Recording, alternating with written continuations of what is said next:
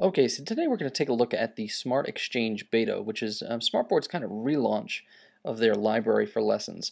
Um, now, what I find interesting is that Smart uh, really has a very extensive library now. Um, in the past, I had issues with the fact that they didn't have a tremendously extensive library, and, and what they had sometimes seemed um, a little difficult to fit to curriculum. So, for instance, it's very much similar to, to the way it was before. Before you actually were able to um, search by country. Here they, they let you do a standard search or you could just search all resources. So let's take a quick peek under the standard search because I think a lot of teachers like to search that way. And we auto automatically have the United States. So I'm going to go down to New York because that's where we are right now. Or rather, that's where I am. Um, and I'm going to choose just grade 3 just for the heck of it and I know that grade 3 spends a lot of time on social studies, so I'm going to go to view, and we'll see what they have here.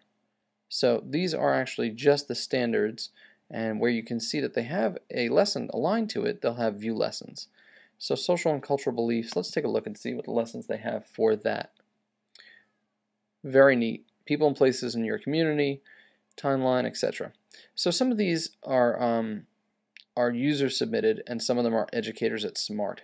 Let's take a look over here. I love this feature now that you're able to download it um, over here, but you could preview it very easily right from the page. And you kind of know what you're getting. So this one's very question driven. In fact, this might be a, yep, as it says over here, it's a smart response question set. And they've been really pushing those a lot. The um, the Senteo, or formerly called Senteo remotes, are uh, are really smart, pumping out a lot of content for that because they want people to use those clickers, uh, the student response systems. Um, I must say that this happens to be a very extensive library over here and it's nice that you can search by standard and see the lessons that align to it very easily. Going back a little bit under the main search tag I'm going to type in over here science and you'll notice I get 2,136 uh, lessons. You then could pare it down further by subject so over here I could choose, you know, I guess I would choose science from the subject list um, and grades. You could choose a, a, range of grades. So if you have the scaffold curriculum or perhaps you want to maybe do a lesson that's a little higher, you can search it that way. And this is nice. The other nice thing about it is you can search the images. So they have a very wide library of images over here. Lots of thermometers. Um, a lot of thermometers here. So let's click on that and again you could preview it right from there which is great. Downloading it of course would let you add it to your library and uh, it's very easy to use. I like this service a lot. I think that it's going to be great for the notebook software. And um, in conjunction with this, they're actually also using a new, um, uh, it's in beta right now, but it's called the Notebook Express. And let's take a look at that real quick. It's pretty limited at the moment, but what you can see is the, the kind of um, place that they're going in terms of creating a web-based version of the notebook software.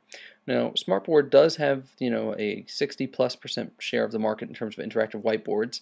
Um, and I think that they their software really has grown to be quite good. The Notebook Software Express, however, as I said, is limited, so let's take a look at what it can and can't do. Um, very simply, it allows you to edit Smart Notebook 10 files. So you can't really create new files here, but you could work on um, files that perhaps your colleagues have created or files that you haven't finished yet, or, or just review files online. So I'm going to go to File, and you have two choices, either Open or Open URL. I'm going to go to Open, and I'm going to choose to upload a file that I have here on my hard drive. So very simply, I'm just going to click on a uh, warm-up exercise and upload it to the notebook site. Okay. So this is actually something I have not worked on myself, but this was a, um, a Wilson warm-up. This was having to do with uh, the Fundations version of Wilson. And it was working on matching letter sounds. So over here you can see that each of the pieces that you have created in the Smart Notebook software will move to where the uh, where the graphics are on the screen. There's no drop-down menu here to give you extensive choices. Instead, the only choice is either to move it, or if you come over here under Edit, you can delete it. So inserting would let you insert a blank page. The blank pages you can write on using the standard color sets of markers. So you can come over here and, and write whatever you want. Um, it's kind of nice. I mean, it's very limited, as I said, because you simply just have these tools. But you do have the highlighter tool, so if you have an image or something else that's, that's pasted on there, you can use the basic uh, tools over here to, to highlight and to uh, write.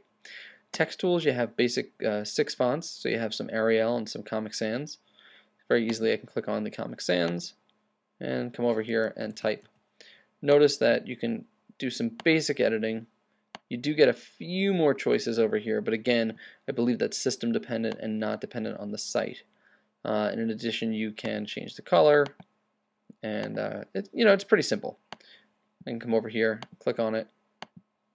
Oh, and again, it shares the same beautiful feature that Smart Notebook does on the desktop. You need to click the arrow if you want to select something and move it around, but that's not bad. Um, you can go over here, options. You could choose to select a file to upload again, so now you can upload a second file and attach it. You can add blank pages, and that's pretty much it. It's a fairly limited uh, tool set. But as they say on their homepage, they are very much looking to uh, get user input and create a more extensive tool set.